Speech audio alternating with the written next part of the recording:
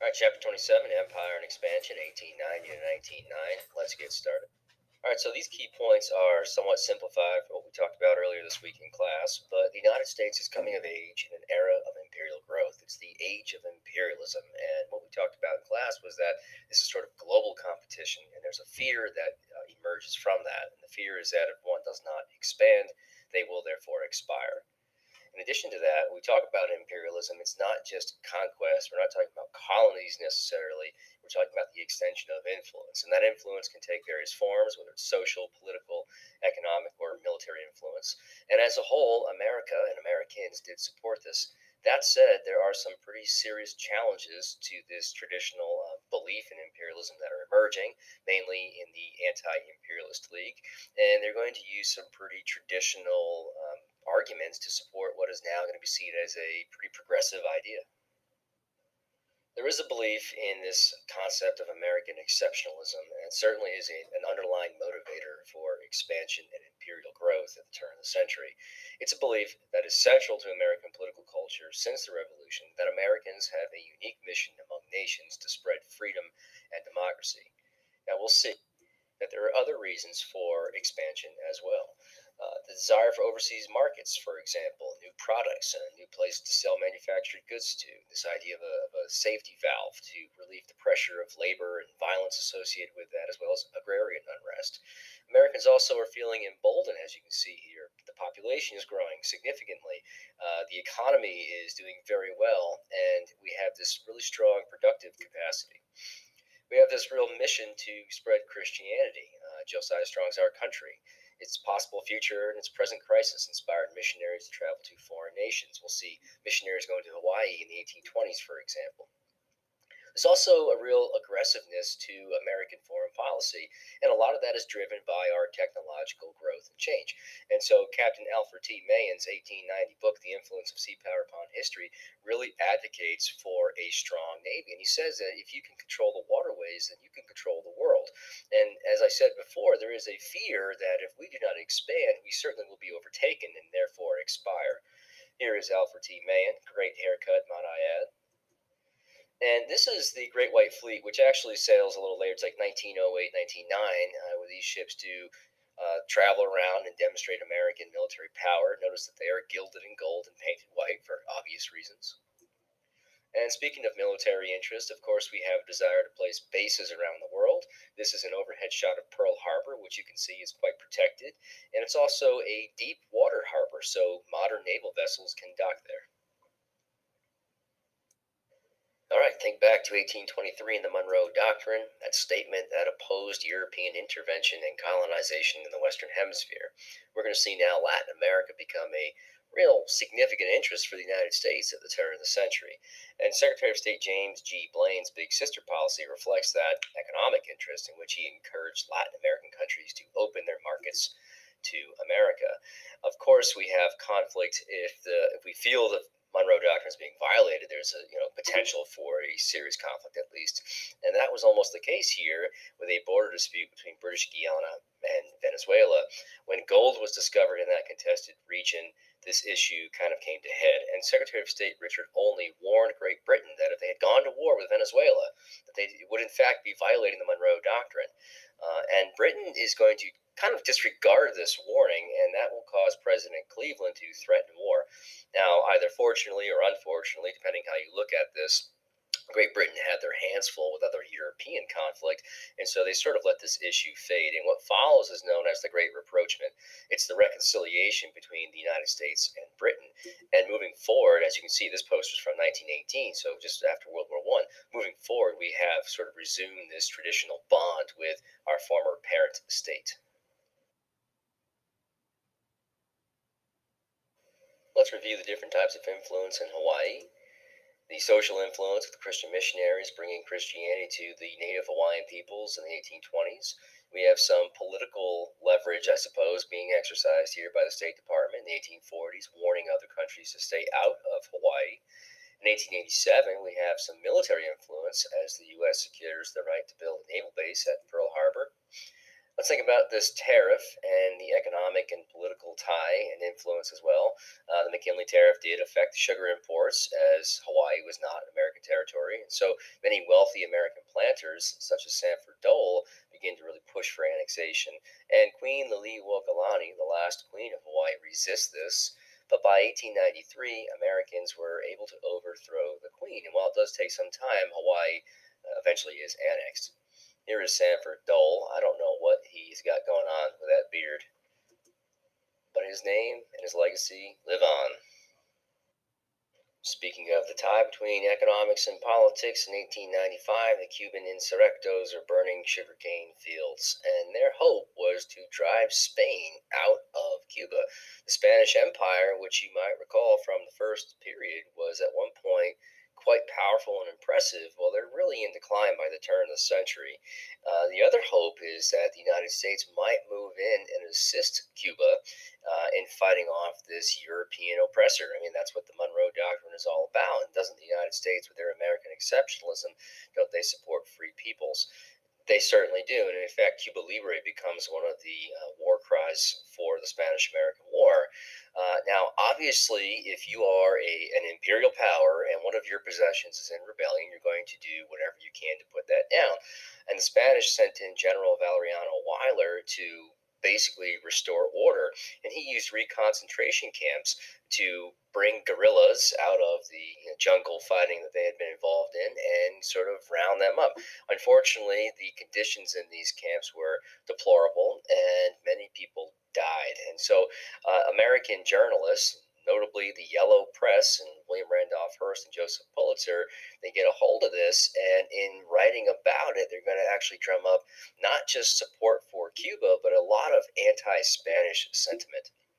In 1896, Congress re- recognized the revolting Cubans officially, uh, but President Cleveland opposed imperialism in general, as well as a war with Spain. And here is Weyler, nicknamed the Butcher, see how he was portrayed by the press. We are going to look at this cartoon in class. In fact, we're going to do the hip analysis. If you want to pause this and do that right now, go right ahead. Again, that is historical context, intended audience, purpose, and point of view. Now, I failed to mention before that there were American sugar planters in Cuba as well, and obviously the whole island is in disorder and chaos, and Cubans that are burning sugarcane fields, well, they're threatening American lives and property as well as Spanish lives and property. And so the United States does send a ship down there to defend the interest of Americans and perhaps evacuate Americans. Uh, but it does blow up, and the United States does blame Spain for this. Spain insists that it must have been an accident. Um, it's not until 19, I think, 73 that the United States acknowledged that, in fact, it was an accident. In 1898, however, the United States did make a couple of demands to Spain, and they conceded to those demands. The first of which was ending the reconcentration camps, and the second of which was to uh, have an armistice with the Cuban rebels. Now, President McKinley, like Cleveland before him, opposed war with Spain, but the American people really wanted it. And there is a lot of uh, discussion about the impact of media uh, on public opinion. And certainly, we like to think that the yellow journalists may have swayed the American people or created this anti Spanish sentiment.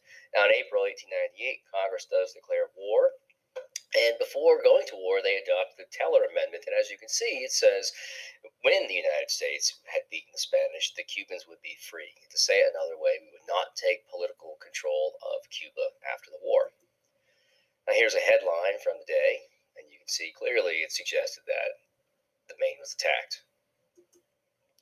And remember, the Maine becomes a rallying cry for the war. The fighting against Spain actually begins in the Philippines, uh, and American naval ships will be in much better condition than the Spanish. In fact, they're modern. Uh, they are uh, state of the art technology. The Spanish Armada is now antiquated. May 1st, 1898, Commodore George Dewey does attack and destroy the Spanish fleet at Manila. And there are German ships, it said in the pageant, that are kind of lurking just outside the harbor here, a potential threat to the United States, but fortunately that blew over. By August 13th, American troops captured Manila with the help of Filipino rebels. Obviously, that's going to be uh, a point of concern down the road here as the Filipinos sort of assumed that they would be liberated. Obviously, that's not going to be the case. Uh, this victory in the Philippines, however, does encourage Congress to annex Hawaii. It's a nice stopping point to Asia. And with, with the possession of the Philippines, excuse me, you can see just how close to China the United States actually is. Okay, so I'm pretty confident in saying that the College Board is not going to ask you to know much about the battles of the Spanish American War. There's only two things on this slide that I want to focus on. This is sort of an overview of those battles from the book, but that said, the bottom point, if you take a look at that bottom point here, many more Americans were killed by tropical disease than they were by bullets. And I think the numbers are 400 versus 4,000, as in 400 killed in battle, 4,000 killed from disease. That's something you should understand, and you should probably know. But more importantly than that is this volunteer cavalry unit called the Rough Riders. This is one of, if not the most celebrated pieces of the Spanish American War, the whole experience. They were volunteer cavalry and they're organized by Teddy Roosevelt. Uh, they're a rough and tough kind of group, obviously, as their name suggests, but they're made up of former cowboys and adventure seekers like Teddy.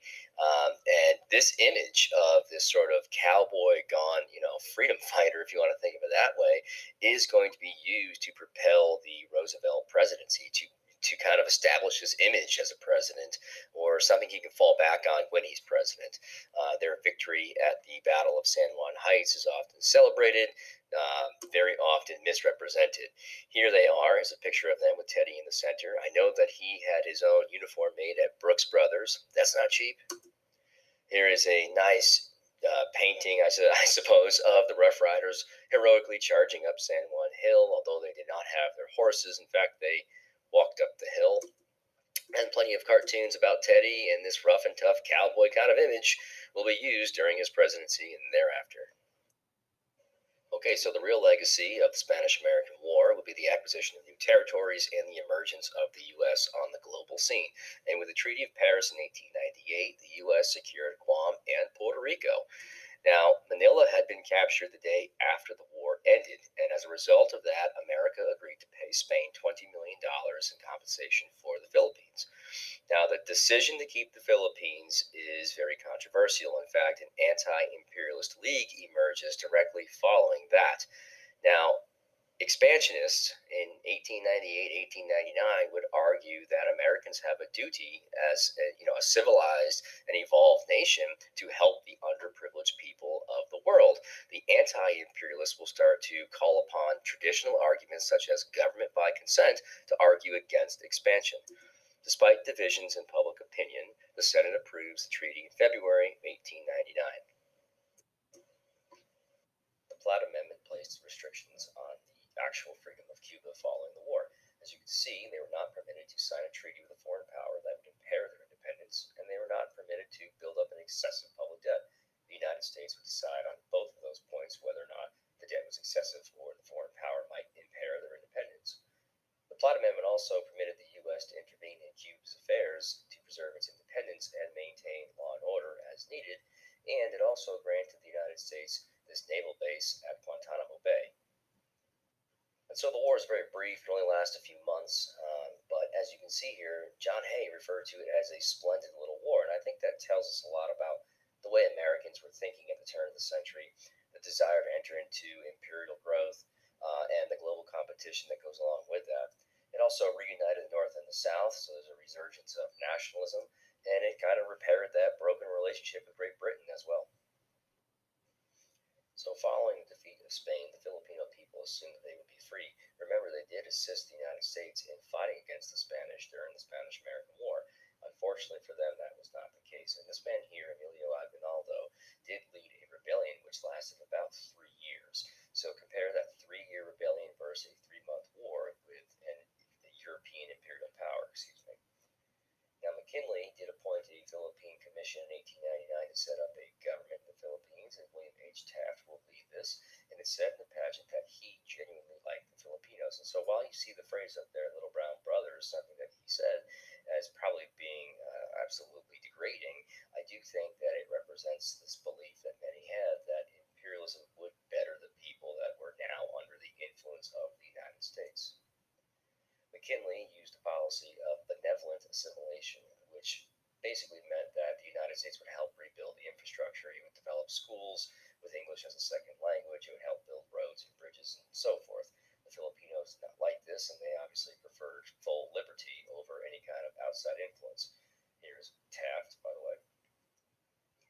And take a look at this cartoon here, and you can see uh, it's suggesting, as the title does, that the Philippines really only a stepping stone to China. And so, again, this sort of raises concerns amongst folks that the members of the anti imperialist league were questioning the true nature of American foreign policy. So, around the turn of the century, there are several outside powers that have established spheres of influence in China. And we're talking about Great Britain, France, Germany, Russia, and Japan. And obviously, the United States wants a piece of that action as well. And so, rather than try to establish their own sphere of influence, Secretary of State John Hay issues his open door note, which would effectively get rid of all spheres of influence and open up China to everyone. Now, while this is happening, there's a group of native Chinese who are absolutely opposed to any kind of outside influence, and they do uh, stage an uprising. They do kill hundreds of foreigners. Uh, many missionaries, uh, unfortunately, are killed at this uh, rebellion as well. And a multinational rescue force came in and stopped the rebellion. John Hay then declared in 1900 that the open door would include the respect of Chinese territory in addition to its commercial integrity. And here you can see Uncle Sam opening the door. All right, so winning a war will greatly help a president get renominated and reelected, and that certainly is the case for McKinley. He's acquired new territory, he's established the gold standard, and brought prosperity to the nation. Both of those obviously are sort of Republican goals and will win the favor of the big business interest in urban America. He also has Teddy Roosevelt as a vice presidential candidate, who, of course, is an imperialist and uh, loved by most Americans, I would say.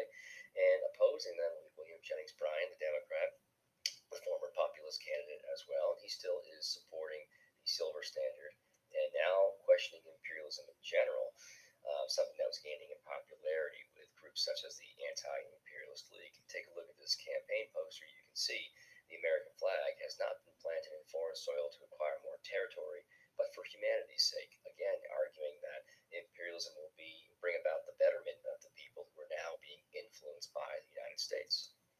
And McKinley does win. You of course, northern support. Again, big cities, big business, big banking.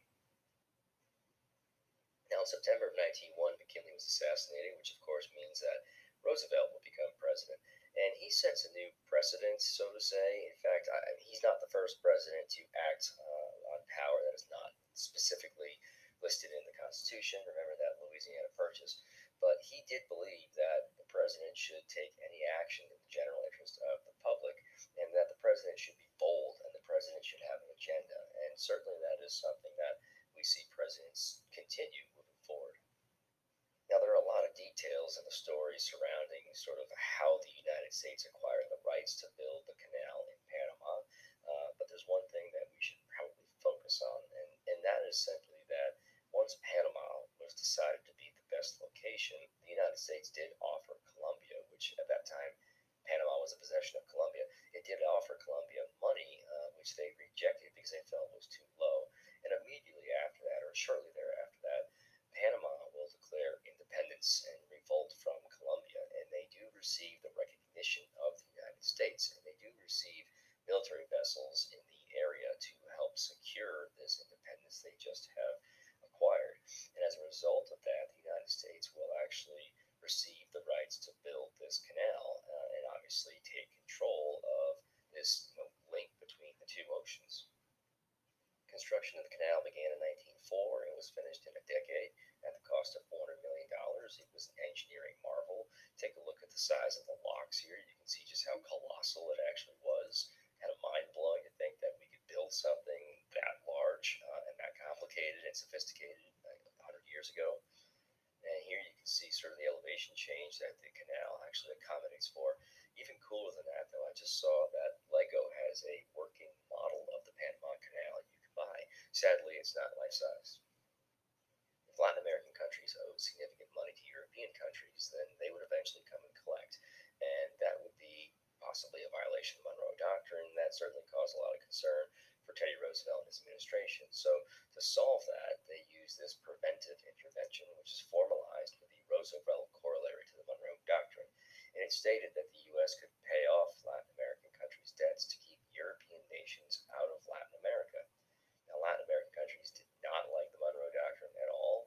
this was often seen as an excuse for U.S. intervention in Latin America in general.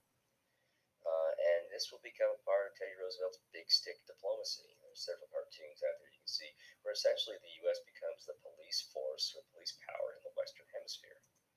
Here's a good cartoon I hadn't seen in a long time. And obviously, Teddy with his speak softly and carry a big stick. Now, Roosevelt's a pretty interesting guy. He did help negotiate a peace between Russia and Japan Japan went to war with Russia in 1904 after Russia failed to withdraw its troops from Manchuria and Korea, and Roosevelt brokers a peace agreement in 1905 in Portsmouth, New Hampshire. Now, neither side was really satisfied with the terms of this. Uh, the Japanese received no compensation for their losses in the southern half of the Sakhalin Islands, and because of the treaty, the friendship with Russia waned, and Japan became a rival with America in Asia. Nonetheless, Roosevelt wins the Nobel Peace Prize. Live free or die up there in New Hampshire. Japanese population in California was increasing significantly, and that caused some concern. Obviously, you know, from such laws as the Chinese Exclusion Act that there was a lot of anti Asian sentiment, specifically towards low skilled workers in this country and specifically on the West Coast. In 1906, San Francisco decided to segregate